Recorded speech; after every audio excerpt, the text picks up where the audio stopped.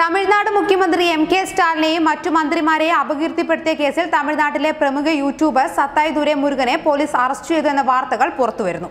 തമിഴ്നാട്ടിൽ നടക്കുന്ന ക്വാറി ഖനനത്തിനെതിരെ ഞായറാഴ്ച കന്യാകുമാരിയിൽ നടന്ന പ്രതിഷേധത്തിൽ സർക്കാരിനെതിരെ നടത്തിയ പരാമർശത്തിലാണ് ഇപ്പോൾ അറസ്റ്റ് ഉണ്ടായിരിക്കുന്നത്.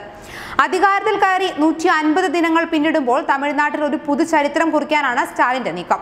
ഇത്തരത്തിലുള്ള ഒരു സന്ദർഭത്തിലാണ് സ്റ്റാലിനെയും മന്ത്രിമാരെയും അപകീർത്തിപ്പെടുത്തുന്ന രീതിയിലുള്ള വാദങ്ങൾ. അറസ്റ്റിലായ മുരുകനെതിരെ വിവിധ വകുപ്പുകൾ ചുമത്തുകയും ഈ മാസം ഇരുപത്തി അഞ്ച് വരെ റിമാൻഡിൽ വിടുകയും ചെയ്തു.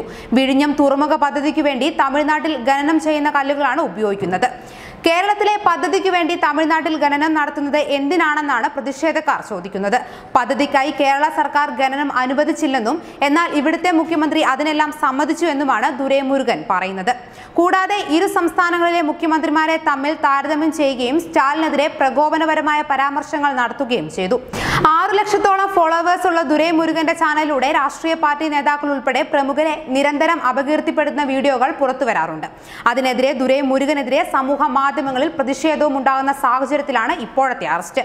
എന്നാൽ അതേസമയം ജനപ്രിയ തീരുമാനങ്ങളുമായി സ്റ്റാലിൻ സർക്കാർ മുന്നോട്ടു പോവുകയാണ്. കഴിഞ്ഞ ദിവസം എം കെ സ്റ്റാലിൻ മുഖ്യമന്ത്രിയുടെ വാഹന വ്യൂഹം കടന്നു പോകുമ്പോഴുണ്ടായ ഗതാഗത കുരുക്കിന് പരിഹാരം കാണാനായി അകമ്പടി വാഹനങ്ങൾ ഉൾപ്പെടെ എണ്ണം വെട്ടിച്ചുരുക്കിയാണ് എം കെ സ്റ്റാലിൻ കയ്യടി നേടിയത്.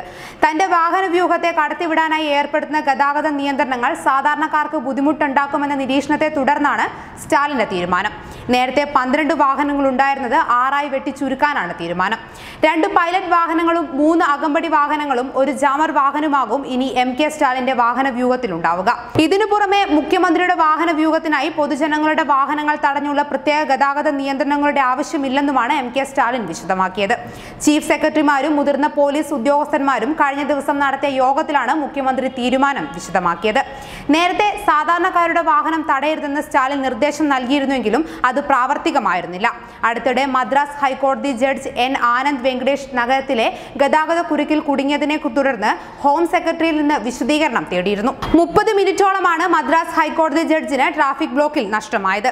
കോവിഡ് പിടിമുറുക്കിയപ്പോൾ കാണിച്ച മാതൃകയും എടുത്തു പറയേണ്ടതാണ്. എം കെ തമിഴ്നാട്ടിൽ പുതിയ ചരിത്രം എഴുതുകയാണ്. അതിനിടയിൽ ഉണ്ടാകുന്ന അപകീർത്തിപ്പെടുന്ന വാർത്തകളൊന്നും സ്റ്റാലിൻ എന്ന ധീരനായ മുഖ്യമന്ത്രിയെ തളർത്തുന്നില്ല.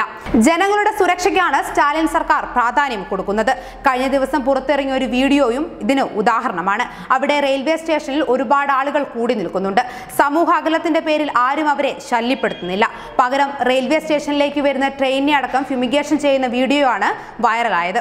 കൊറോണയെ പേടിക്കാതെ എങ്ങനെ ജീവിക്കാമെന്ന് കാണിച്ചു തരികയാണ് തമിഴ്നാട് സർക്കാർ. അവർ ജനങ്ങളുടെ കൂടെ കൈപിടിച്ച് നടത്തുകയാണ്.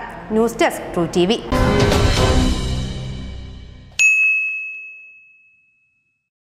True T വിയുടെ കൂടുതൽ വാർത്തകൾക്കായി ഞങ്ങളുടെ ചാനൽ സബ്സ്ക്രൈബ് ചെയ്യൂ ബെൽ ബട്ടൺ അമർത്തൂ.